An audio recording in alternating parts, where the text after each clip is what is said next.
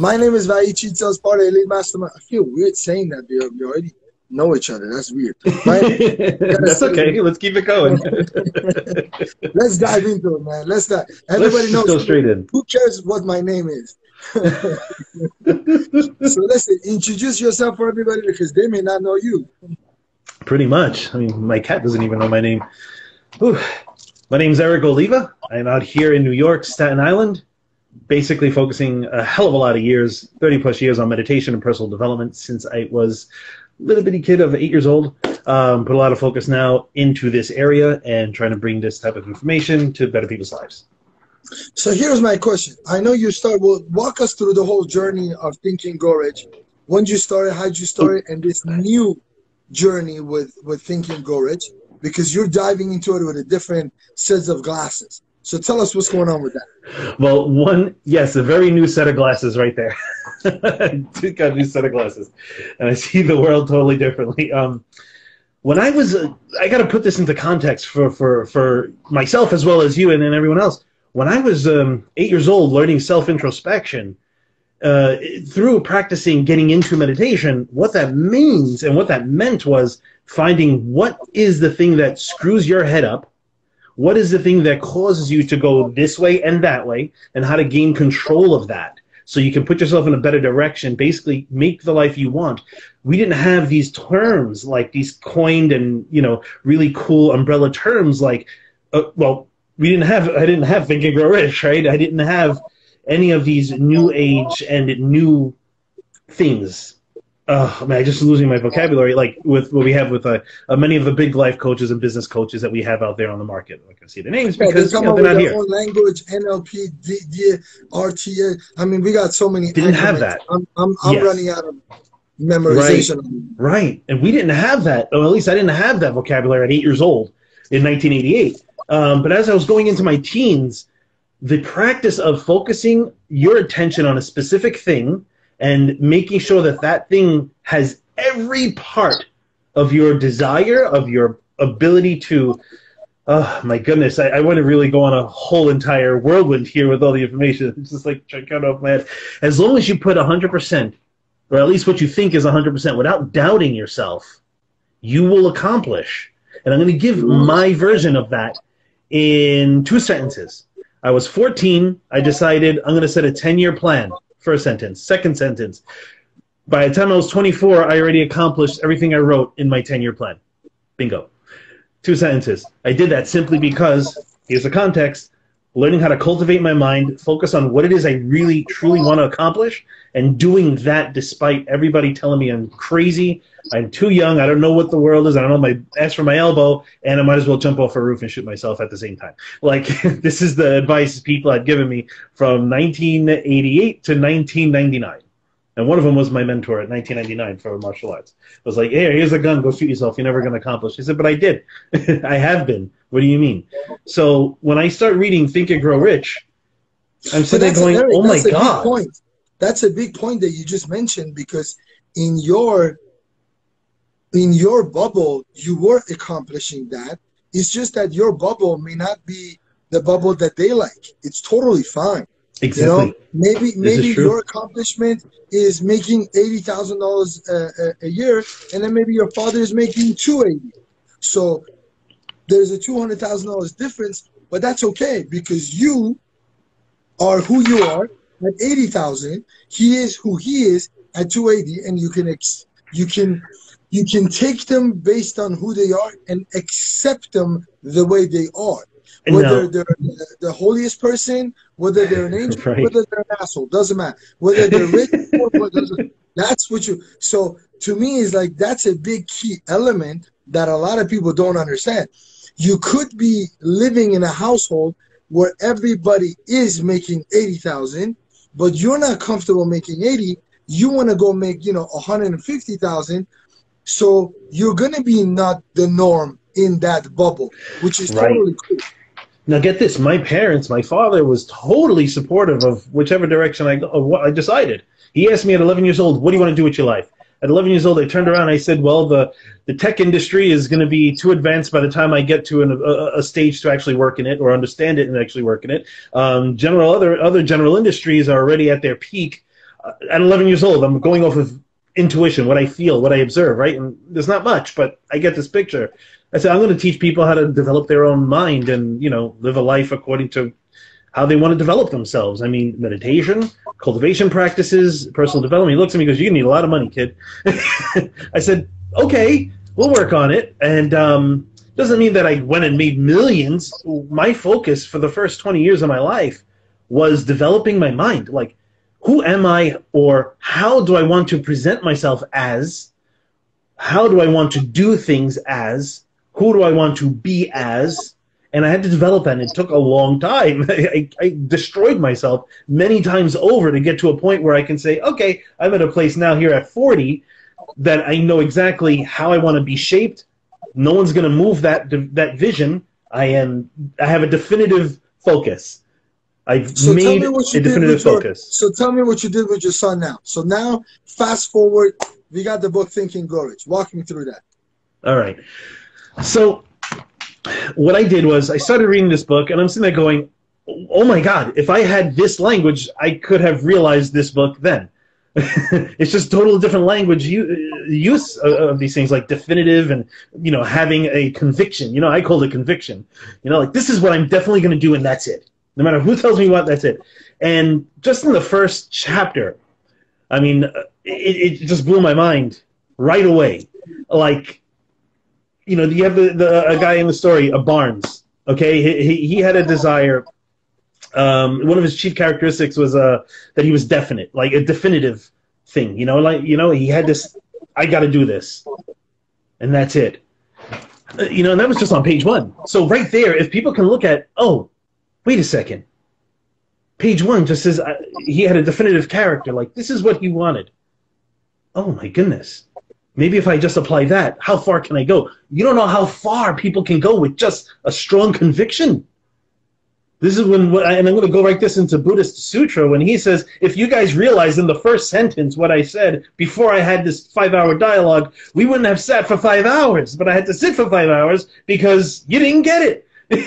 like the first three sentences, you could have gotten it, but nope. So I got to go through a whole bunch of different ways. Same thing with this book. I'm looking at this first page and so, saying, oh my goodness, be Erik, you don't even have to go through the. You don't even have to go through the.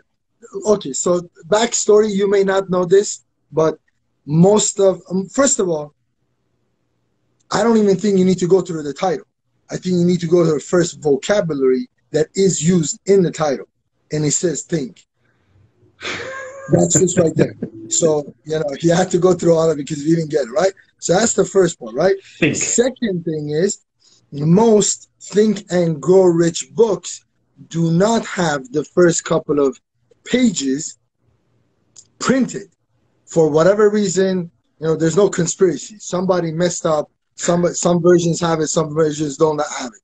But literally, in the book Thinking and Grow Rich, Napoleon Hill talks about it. 1925 law of success. There's only one time a mention of a mastermind group. 1928 law of success. He dedicated the entire first chapter, over a couple of hundred pages, just on the mastermind um, process. Then we fast forward to 1937 when he published the Think and Grow Rich. Mastermind Group is part of it, but in the first couple of pages, he will tell you some books have it and literally is there. It says, listen, go find yourself a mastermind group, be part of it. Don't waste your time with the rest of the book. That's it. You you should have just got it. But the key element is I understand that sometimes because we're not all the same we all think act you know we, we have a lot of similarities but the way we process it and the way we convey it might be different than other people. So he had to write the whole book and give explanation why the first part that he said does work. So that's that to me is profound. But imagine that the feeling that you got the first chapter imagine you will have that at every single chapter. And it's accumulation of all the success principles that makes you successful, not just one of them. Now, one key element is that you decide what you want and you're willing to stake your neck out for it. The way I understood it is this, Erik. If you teach your son or daughter, I believe it's a son, right? Son. Mm-hmm. So if you teach your son that we're going to go dig a hole 10 feet deep. You know, a lot of people that are part of the privilege group have never digged a hole. I have actually. I worked with my uncle when he was building his backyard and everything else, and I know digging a one, two, three, four feet. Like I know how much of a pain it is to dig dig that deep. But let's just say you dig it 10 feet deep. That means a, a standard apartment wall is about seven to nine feet, right? So let's say so. So as as far as the wall of your house, that's how deep you go in there. Then you put this big, huge iron rod pole in the hole, and then you build up 10 feet of just concrete. And then that's your goal. Well, then you and I understand if anybody has any basic concept of construction, it will take a lot of force to pull this rod out or break it, bend it, or pull it out of its roots because you went 10 feet deep and you pour concrete around it. If everybody did that with their goals, we will have a different planet. But literally is that you find whatever you want, you're willing to stake everything on that. That's it. Simple as that. Now the plan that you go about doing that, maybe you're gonna use, you're gonna say, you know, if let's say you and I were gonna dig up the the hole and put our you know goals in there, you're like, listen, we don't want to do too much of labor. Let's get you know, let's get the machinery right. Let's let's get some equipment. Let's go to Home Depot, get the right equipment. So the plan in which you implement that might be different. I might just say, you know what, no, we're gonna use an and we're gonna use a shovel. We're gonna go all out, man. It might take us five days to dig it, but that's what we're using. No machinery. So the plan that you implement, that business goal that you have, might be different. You know, you could do it 10 different ways. But if you embed that concept into the new new generation where they stick their entire life on that and they're not going to deviate, one of my best uh, motivational speaker, which I don't agree with everything he says, but Dan Pena, if you look him up, he's a crazy dude. He cusses everybody out. Uh, I mean, he is a ruthless uh, coach. You know what I'm saying? I mean, I think he's probably beating up some of his mentees and his students in a session um, because he talks about it, right. And I believe it. I know he probably took a whack and just beat the shit out of somebody in coaching, saying you're not doing it right. But he says that. He says he, uh, he was so scared of his dad when he told him to stand over here and wait for me that short of a less of a tsunami, he wasn't going to move. That's what it takes. You standing by your goals and dreams and, and what you want, short of a tsunami that's going to take to move you. Right. I don't know if that makes sense. It makes sense because you, you, you kept, um, you brought up twice what I would say to my son or how I'm bringing this up to my son.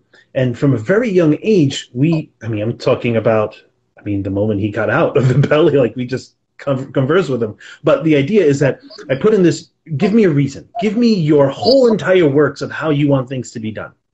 Okay? Uh, you want to accomplish something. You want to get something. You want us to buy something from you. Give us a why. Give us a reason. Give us the whole entire concept of how this thing is going to make you feel like you will be better. And if you can actually do that, hey, we might have something here. But articulate. And this is what I said to a, a one year old. And I said to when he was two and three. and lo and behold, we go to stores and he's like, Oh, can we get this Lego? Why? 10 minutes in the aisle because this, look at the design, look at the colors. And he goes in and he goes, No, this is something I really want. Like, I really can work with this. Okay, it's like 300 pieces, no problem, go for it. And he'll go to town on it. But thing is that he puts his mind to making that happen. He has to now prove, he has to become accountable. He put his whole entire focus here. Now he has it in his hands. What is he going to do with it? He doesn't want to let himself down. He doesn't want to let anyone else down. So he has to start manipulating it, building, make something form. He makes something form. God forbid you take a piece off of it. My creation, what did you do? Why? Because he spent so much time and now he learned the value of time. Oh, it took me three days. It took me a week. It took me uh, two weeks to put together a 4,000 piece house, Lego house, right? Don't t- knock it down. Don't put it away in a box. Leave it up. Put it somewhere. Don't take it down. I, so, I worked so hard on that. We all did. He, he now values his effort. From now, that was from when he was a kid, a little kid. Now he's only seven, but still, he's determined. He has a definitive goal, a definitive purpose now. If he puts his mind on something, he's not going to say, well, I'm going to do it and five minutes later I don't want it. He has to learn the thing he puts his mind to. He has to try something and actually make it useful to him so it sticks in his memory and he has a quality of it. Now he has quality, he has accomplishment, he has his own vision of himself. He now has a straighter path in terms of how to accomplish his goals than most would. Exactly. So tell us now. So now you guys are reading the, the, the book Thinking and Grow Rich. How many chapters have you got and what have you got so far? So you're reading it with him at the same time. Yes, reading it with him at the same time. We've got into chapter three. Uh, we read. I have him read uh, a few of the pages too as we go along, and you know he's learning himself some really big ass words. Um, but he's taking out he's taking out parts. So they go through a comprehension with him. What do you mean? What does this mean? What do you get from this? what, what is the general idea here? Um, we can go into like life and death conversations and what happens when you die, and what happens before and after, and all this fun stuff but it's around 9.30 at night, so we go into general conversation with the book. Um, just saying we can get in depth here. And I say, what is your takeaway from, let's do the three feet from gold story. And generally he's like, well, you don't stop, you keep going. I said, right, that's fine, yes. Now let's go a little deeper. So the context of going deeper is that, well, we don't know when there is going to be no more. You don't know that. So it's not just about putting more effort to do it. It's about how focused, how strong, how much do you really, really make this goal your life? So he says, it's like if you don't have it, you die. it's like it's like breathing air. I said, That's okay, exactly good. We can go to sleep. it's time to go to bed now. you know, like if you want something, and there was this, uh, I forgot who was it who did a video, Prince Ea, EA, Prince EA. He put a video many years ago. You gotta have, you gotta want something as though um, you need it like breath or some something to that degree. Yes, when I did my ten year plan, and I'm reading this three feet from gold story, um, it, it brought memories of when I was 14 writing, when I'm 20, I will have this. When I'm 19, I would have worked for a publisher or worked for a magazine for editing because I really loved editing and writing.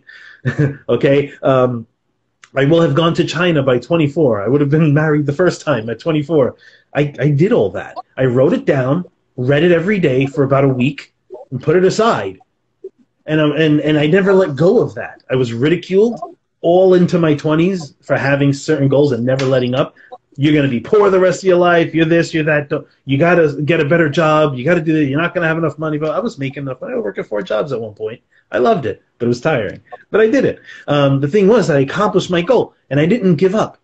When I when I saw that it was a struggle, I sat there, and I took a step back. But I sat there and I went into contemplation, and I said, I have no money for my rent. It's due in two weeks. I have about $10 to my name. I applied for a job and they're not calling me. What the hell is going on here? And I think I was 22, 21. And when I'm looking at the story, I'm saying, here they are, three feet from gold. They have no clue what the hell they're doing. At this point, they're like, well, there's nothing here. We're going to waste our time. We're going to waste our money. Let's just try to make something back and, and sell the machinery and just go on with our lives, right? We'll pay everyone back later on, you know, and they did but the thing was, I was at this precipice where I was at this point where I could have stopped and just said, "All right, I'm done. I'm not going to go and pursue the goals I put. I'm not going to go and pursue what I know I have a great passion for, what I wake up for every morning. I'm just going to go down to the local store and just take a stock boy job. There's nothing wrong with a stock boy job, but that just wasn't where I was at. My head was, how do I make that stock boy become like a Superman for his own life. You know, like that's where I was. I was ready to jump off the cliff and go flying, but I couldn't. I, I just couldn't get that next step. I didn't know where, so I stayed there in contemplation. I said, "No, I'm going to get that job." And it's not that okay. I'm going to get that job, and then someone just calls me and gives me a job. Magical. Ooh, no. It's that I was so sh- sure, so certain that I got this interview that when I go meet that person a second time, they're going to give me this job like there's like they wanted me here from the get go. I just knew what I was capable of, and I didn't want to give up on myself on that. So I had to either that or I stabbed myself in the back. And then everyone who said I'm worthless is right. Because I told them, no, this is nothing to do with this type of worth. It has to do with my type of worth, not your type of worth. Right? So I could have stepped back and never be, we wouldn't have this conversation. We wouldn't be here talking. I know that. There's so many people I, I wouldn't have talked to. Listen, if people take the, the definiteness of what they want to do and they write it down, yes. and which is crazy part because to me this is very fundamental, and we should be teaching this stuff in in high school. In school. So, in school. I used to, I teach my my kids. I teach from Mandarin uh, over the semester. I tell them sometimes we have classes of what is your vision? What do you want to do in the next six months? Not just in school. Like what do you have for yourself? What are your things you do after school that you, you know, put your time in? Video games. You want to be a gamer? Great. How do you develop that? So you got 10 years experience by the time you graduate high school. Like, let's go further. Let's build up a portfolio for you. You love art? Great. Let's get your artwork together. Like, I want that for kids. I took some I took some points here from from from this story because I'm sitting there going, I told my son three feet from gold. We read this story, and I think it, it, it has to be one of the most impactful stories right off the bat. I mean, if I said to someone, if you put your mind to something, uh, you know, all this airy fairy hippy dippy talk, you know, they're going to go, wow, that's so great, and it probably works and makes them feel good for three days. Thing is that I actually did the, hey, every morning, this is what I'm going to accomplish. Every morning, Erik, you're going to accomplish A, B, C, and D. I want everyone who meets me to think and feel as though they already have awoken to this greater wisdom in themselves. How do I do that? I have to be that example. How do I be that example? Obstacles come, I overcome the adversity, they realize their strength in this type of doing, they follow. They follow them. They just take the method and apply. That's what I mean by follow. Like in, in, in the take one of the takeaways in Three Feet of Gold is that like one of the most common causes of failure is the habit, and I'm quoting, of quitting when one is overtaken by temporary defeat just right there, they get a slap in the face. They're running, they trip, they sprain their ankle. Oh, I can't do this anymore. Yes, she can. Or, oh, I ran out of money. What am I going to do? I got to go borrow money now. I'm not going to go ahead and, uh, uh, you know, pursue my goals. I'm not going to pursue this thing. People think that fulfilling a dream is some magical experience, and they've been beaten up with that idea that they cannot actually do something good for themselves because it's some uh, not reality but the thing is, the er, the very thing a person thinks is reality is exactly that reality for them.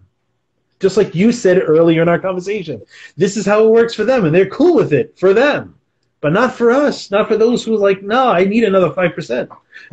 I need another thirty percent of this. I can't. I can't just put in my big toe in the water and hopefully think that I got swimming. I got to jump in both feet. You drown trying or you live your life thinking I might know how to swim, but I just don't know. And you have that. I know what that feels like because I did that for smaller things. I would never take for granted my vision of what I want for my life. I knew that was like this big X skull and bones thing on me. No, no, no, you don't do that. That's poison. I trained myself to think that way when I was a child.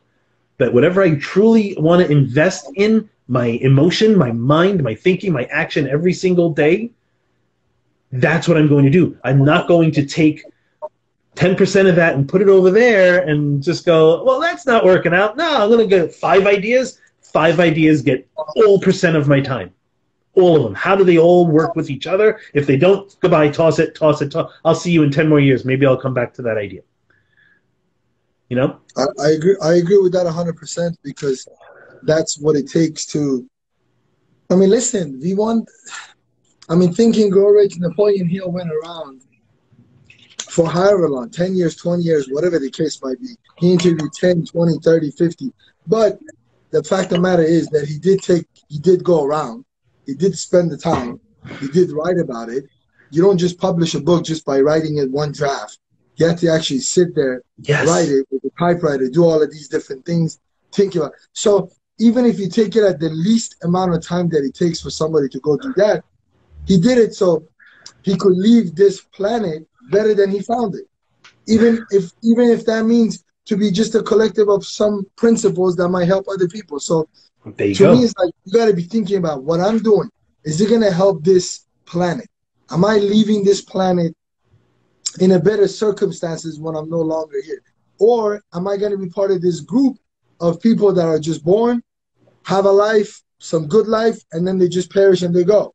That's so. But if you don't remember so true. You don't. That's you don't, so good. You don't look at him as someone who's made a difference for um, for other human beings. That's where that's where the leadership comes in. That's where you have goals because hopefully your goals and your aspiration and you the way you do it will inspire other individuals to go after what they want also too. That has a ripple effect. If you think positively, they're going to think that, you know, if you yeah. stick to what you want to get without violating anybody's right, you know, Napoleon Hill said that, right? So that's that's that's the way I look at it. I so get you.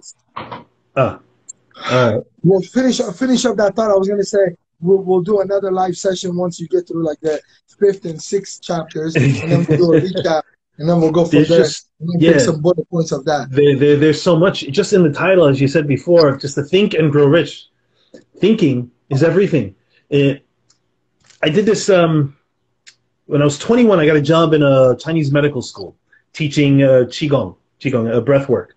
But I got the job because I had to prove that energy between everybody and everything actually exists. And I'm going to take the, the soapbox here for a second. I'm going to stand on it. I'm going to beat my chest a little bit, you know, in pride because I took a concept that people were, oh, it's placebo, it's BS. And I made them find it tangible. Um, there were things on the floor. I had a whole room full of bioscientists, biomedical students, and, and, and doctors and um, there were some rocks on the floor. And I looked at the rock, I looked at the table. I did this three times. And then I picked up the rock and put it on the table. I said, okay, I, I proved the, the, the theory of yin and yang. I proved the theory of these two forces of existence. Case closed. They said, we don't understand. And I threw my hands up and I said, okay.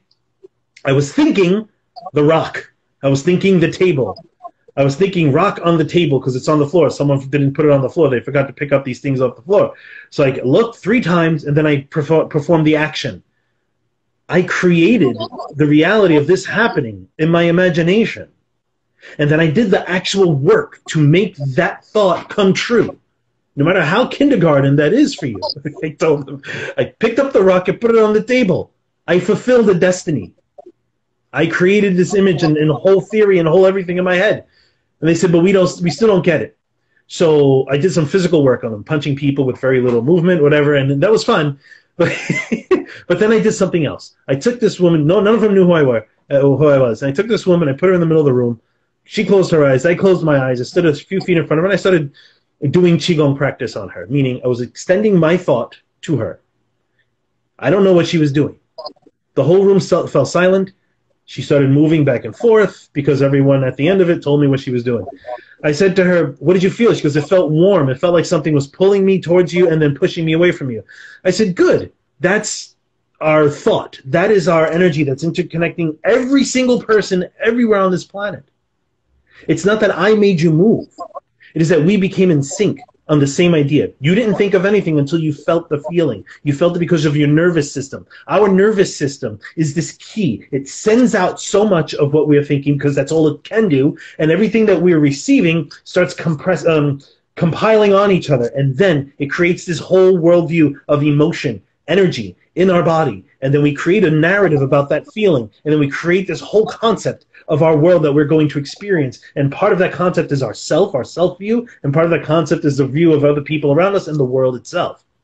And that comes because we are interconnecting. And this is how we work with each other. I got the job, by the way, teaching for a few semesters, a semester or two, and then I got fired because someone didn't like me teaching it. But the fact is, I accomplished that because I thought this is what I will do with my life. I never gave up on that. And 31 years later, from eight years old to now, I'm talking to you, Vahid. I, I, this is my plan since a kid to be able to tell people how to actually utilize your your thinking, how to utilize your life, how to utilize your breath, how to utilize what you want yourself to be as. Make it actually true. And you make it true because there's nothing proving it's not true.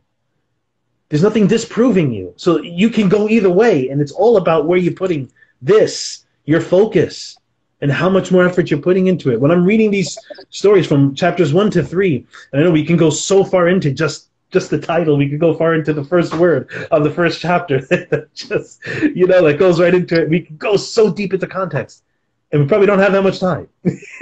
but no, we'll, we'll come back. We'll we'll we'll do another session. We'll dive into a little bit more. because the more we dive into it, and it's not for other people, it's it's other people could enjoy it, but the more I talk about it, the more clarity I get.